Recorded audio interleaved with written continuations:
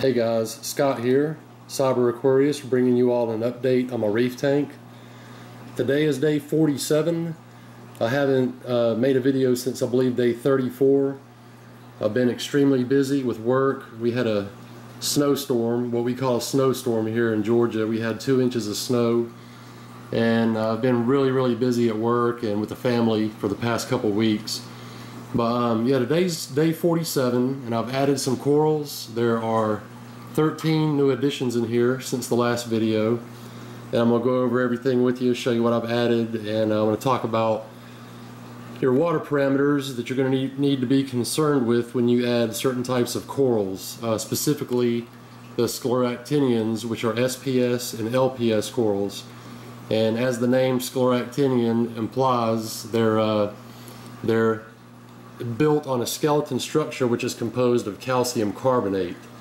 And the water parameters that you're going to need, need to be concerned with will be calcium, uh, carbonates and bicarbonate salts and magnesium because they're all the primary building blocks of calcium carbonate which is what these uh, scleractinians build their skeletal structures from and we'll talk about the water parameters here in a minute but um, on Wednesday. Today is Monday but this past Wednesday I had a diatom bloom the first signs of any diatoms uh, and it actually started receding uh, on Saturday.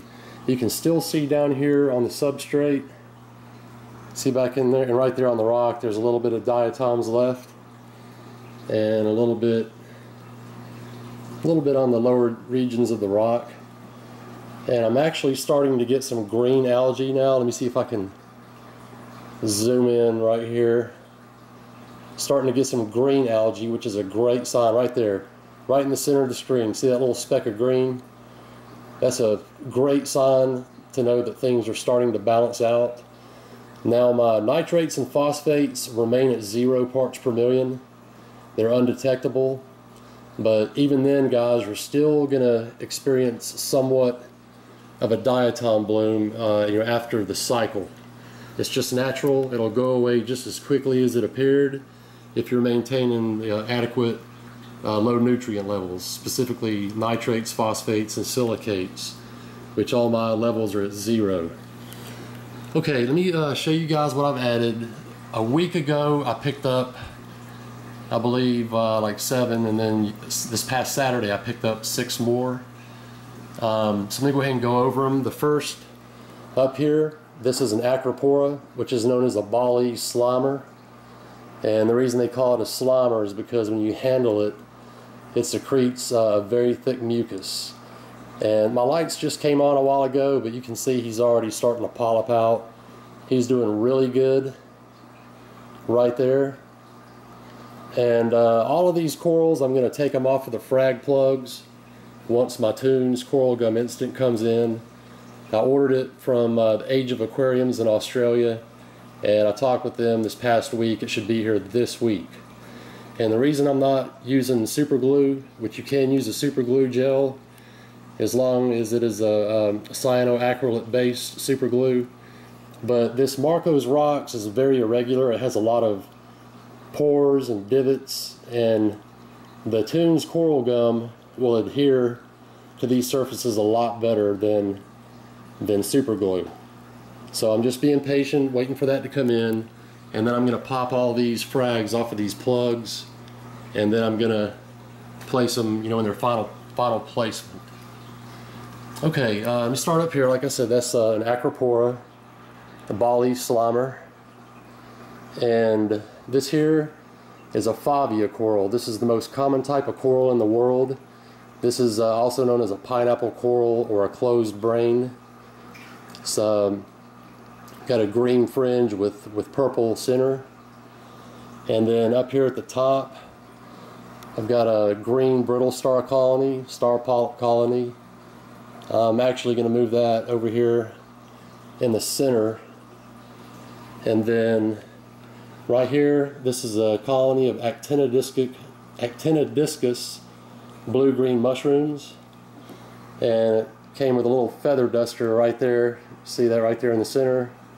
Small feather duster came in on that little piece of live rock. Uh, I've got three different types of zoanthids. This one here is uh, red mouth, uh, purple center with green fringe. And then I've got this one here, which is closed up at the moment. This is a yellow center with uh, like a, a neon green fringe.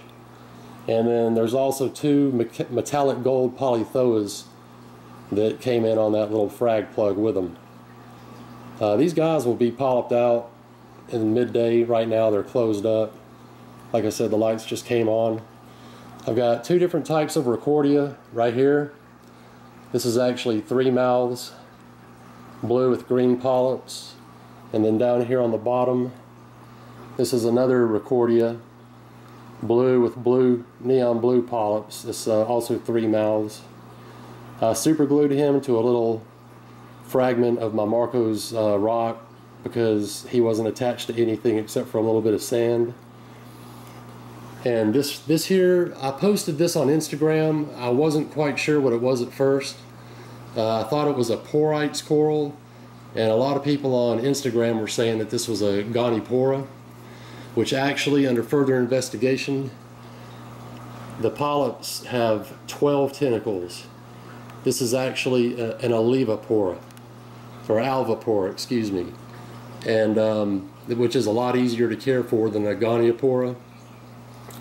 So I'm glad uh, this this guy's doing fantastic. I've had him in here for two weeks, and here's the uh, other zoanthid colony. This is this is like an orange center with like a light red brownish fringe. And then I've got uh, two different types of Acanthastrea lordhowensis, which is also known as Acan lords for short. These are LPS. This is a three-headed Acan and then up here, this is a seven-headed acan. I added him on Saturday. He's not uh, swole up at the moment, but it's like a red center with uh, green edges. And then here's a double-headed hammer coral. It's also an LPS. And, oh, my anemone, um, he's shriveled up at the moment, but it's really, really funny about this guy. When I first put him in, I placed him right there, about two inches to the right of where he is now. Well, he moved all the way around the rock. He came all the way around here, and he went, he went uh, between these rocks, came around the back side of this rock, and then he went under this rock and came out right here about four days ago. And so if he would have just moved two inches to the left, he would have been where he is now. He did all that traveling just to end up where he, you know, right where he was. But he looks great during the daytime. I fed him yesterday uh, just a little chunk of the LRS, so he's uh, you know contracted right now. But I couldn't wait for him to open up to shoot this video. I wanted to go ahead and get this video out to you guys. But he, he looks great during the daytime. And uh, let's see, I think I've just about shown you everything in here that's new. Um, now I did add two turbo snells. I added them on Saturday. And there's one right here. There's a bumblebee on his shell. And then there's another turbo snell right here. And I'm going to be taking these guys out. They, they get large and they've been known to topple live rock.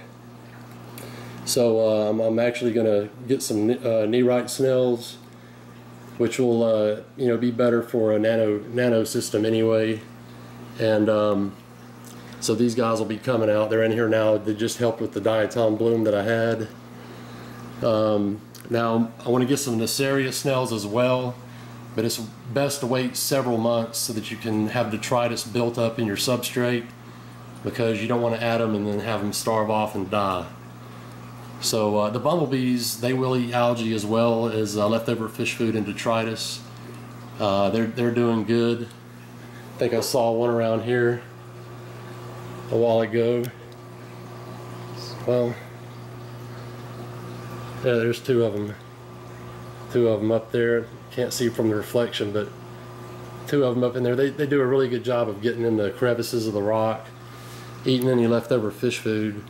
The clowns are doing great. They still have no interest in hosting the anemone right now, and that's to be expected since they're tank raised Ocellaris clownfish.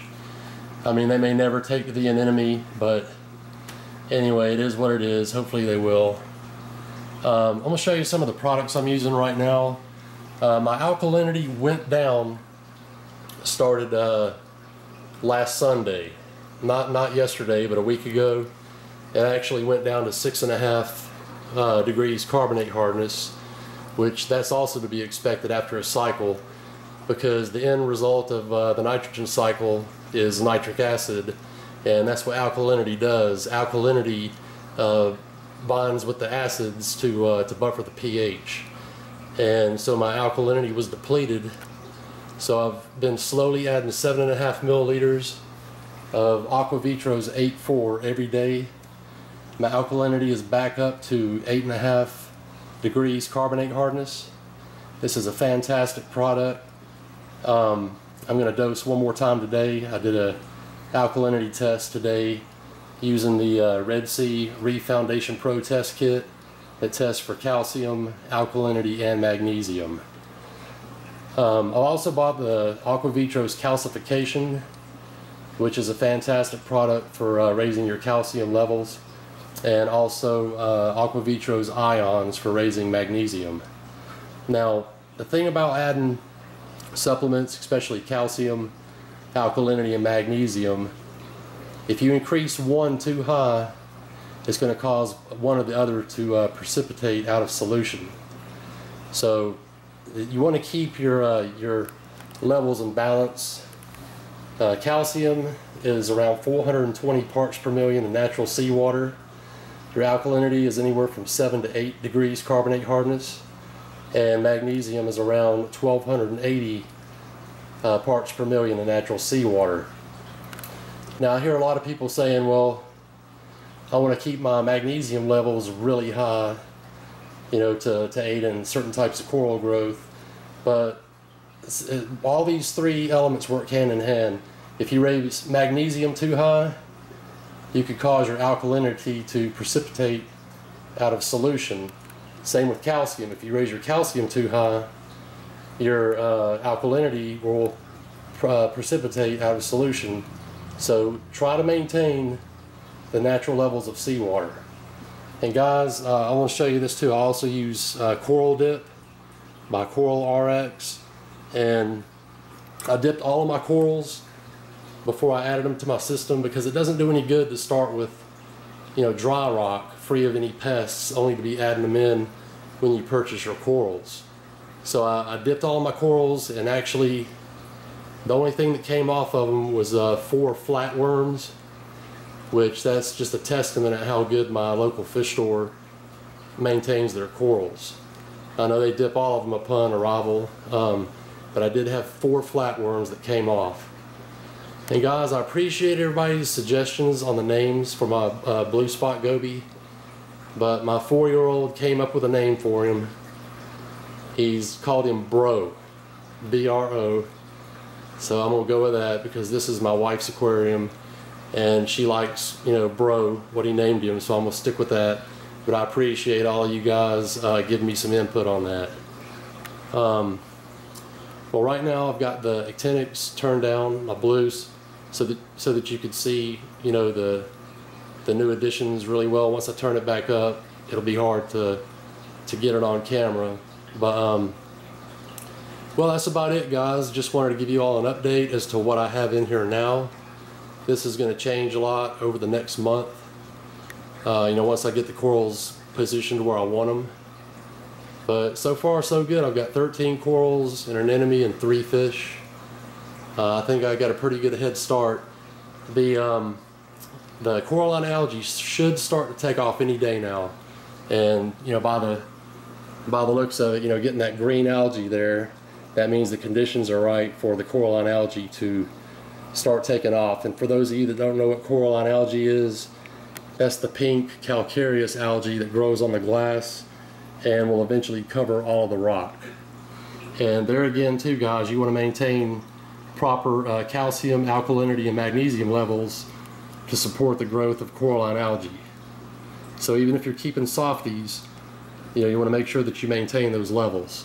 You won't have to dose as much as if you're keeping LPS and SPS, but you still want to maintain those necessary levels. Alright guys, well this video has gone on long enough. Appreciate everybody's time watching. I'll give you an update again real soon. Everybody take care.